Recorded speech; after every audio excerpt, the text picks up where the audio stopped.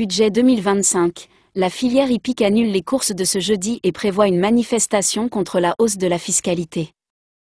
Les professionnels craignent l'adoption d'un amendement au projet de budget de la sécurité sociale sur la hausse de la fiscalité sur les paris.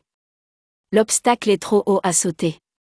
La filière hippique va annuler les courses prévues jeudi 7 novembre, un fait rarissime, pour accompagner une grève et une manifestation à Paris des associations socioprofessionnelles du trot et du galop, en protestation contre une hausse de la fiscalité sur les paris hippiques. Si un amendement au projet de budget de la sécurité sociale prévoyant cette hausse a été rejeté, la filière craint que le sujet ne revienne au Sénat, selon un communiqué de France Gallo. Les seuls précédents à l'annulation des courses en France remontent aux guerres mondiales et plus récemment à la période du Covid.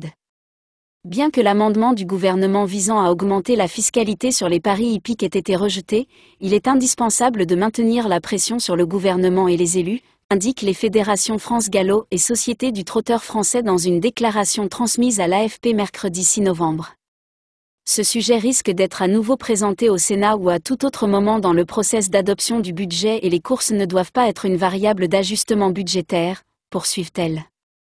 Il est primordial de faire comprendre à l'ensemble de la classe politique, à travers une forte mobilisation jeudi, que nous ne lâcherons rien car nos emplois sont en jeu, indiquent les organismes. La filière prévoit d'organiser une manifestation à Paris jeudi, avec un départ à 12h45 de la place d'Enfer Rochereau dans le 14e arrondissement et une arrivée à 16h30 place Vauban, derrière les Invalides. Si pour des raisons de sécurité, les manifestants ne se déplaceront pas à cheval, il y aura quelques chevaux sur place, notamment avec le cascadeur équestre et dresseur italien Mario Lurachi.